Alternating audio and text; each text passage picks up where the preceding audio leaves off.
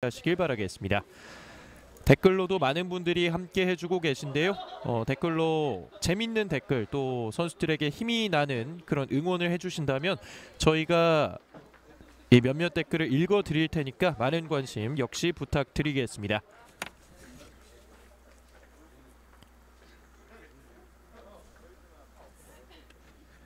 오늘 총 4개의 고등부 경기가 예정이 돼 있는데요. 1조에 두 경기가 펼쳐졌었습니다. 광양여고와 화천 종산 각자 진영으로 위치하고 있는 선수들 양 팀의 전반전이 시작하고 있습니다. 화면 왼쪽이 파란색 유니폼의 현대고등학교, 화면 오른쪽이 검은색 유니폼의 동부고등학교입니다. 줘야 하는 양 팀. 오른발로 띄웁니다. 자 선수 맞고 다시 한번 슈팅 들어갑니다. 세컨볼을 놓치지 않았던 구영인. 전반전 5분 만에 오늘 경기 첫 번째 득점이 현대고에게 터집니다. 밝은 표정의 구영인 선수.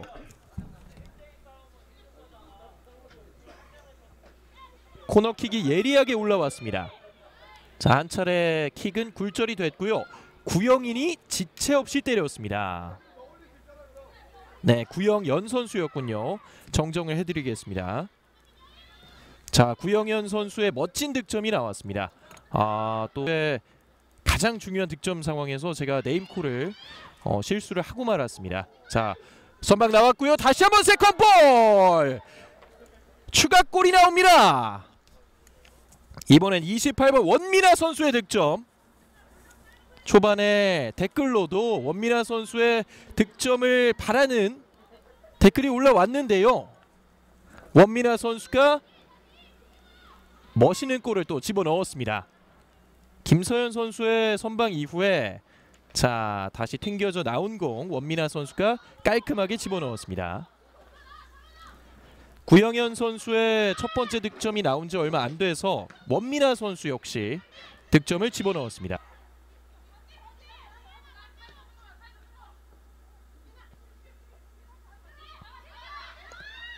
여전히 현대고의 공격 이번에는 네 살짝 옆쪽으로 빠져나갔습니다.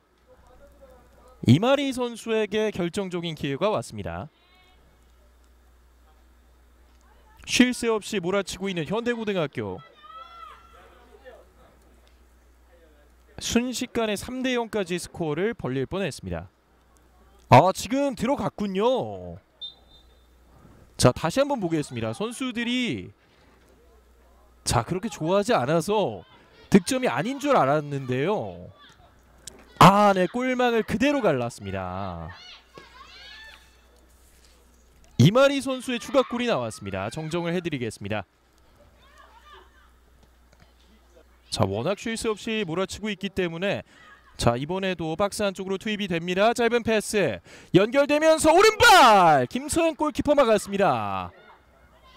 자 그러한 부분이 오늘 경기 결과적으로도 또 경기력 면으로도 아직까지는 잘 보이고 있습니다. 좋은 드리블 돌파 자 오른발 컷백 골대를 맞습니다. 네 번째 득점 기회 현대고에게 찾아왔습니다. 아쉬워했던 이하은 선수. 원채은 선수의 우직한 돌파가 다시 한번 나왔고요. 아 그냥 택배가 들어왔는데요. 아 약간 임팩트가 높게 되면서 비어있던 골문 이하은 선수 입장에서는 정말 아쉽겠습니다. 캡틴 안수민 선수가 안정적으로 중원에서 조율을 해주고 있고 짧은 패스. 자 작품이 나올 수 있습니다. 1대1 아하! 옆금을 자 옆쪽으로 흘렀습니다. 이번에도 이하은 선수에게 다시 한번 기회가 왔습니다. 이 아름다운 패스워 원채은 선수의 마무리 패스 기가 막혔고요. 오히려 near post를 봤지만 살짝 왼쪽이었습니다 다시 한번 고개를 떨구었던 이하은 선수. 어, 헤더로 보낸 공 오히려 연결이 됩니다. 이하은 치고 들어갑니다. 이하은. 이하은! 살짝 빗나갑니다. 쉽지 않은 장면. 동료들이 없던 상황에서 직접 해결해 봤습니다. 모두 지나갔습니다. 다시 한번 second ball이 현대고 쪽으로 왔죠. 이하은 왼발 슛. 김서현 골키퍼가 잘 잡아내면서 양 팀의 전반이 종료가 됐습니다.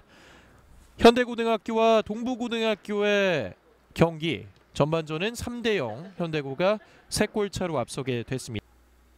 전반전 초반에만 3골이 터졌었는데요. 그 이후로는 양 팀 모두 아직까지 득점이 없습니다. 양 팀의 후반전 시작하고 있습니다. 화면 왼편에 동부고등학교, 화면 오른편에 현대고등학교가 위치하겠습니다. 전반전은 현대고등학교가 공을 많이 소유한 예린 선수가 다시 본인의 위치로까지 뛰어가는 모습 인상적이었고요. 이번엔 동부고등학교 공간이 많은데요. 현대고에게 기회가 있습니다. 자, 직접 밀고 가면서 슈팅 걸립니다. 여러 차례 굴절. 결국 노효은 골키퍼가 잡았습니다. 잘 컨트롤하고 있습니다. 우측면 자 크로스 길게 갑니다. 오 바로 들어갑니다. 크로스가 득점으로 연결됩니다.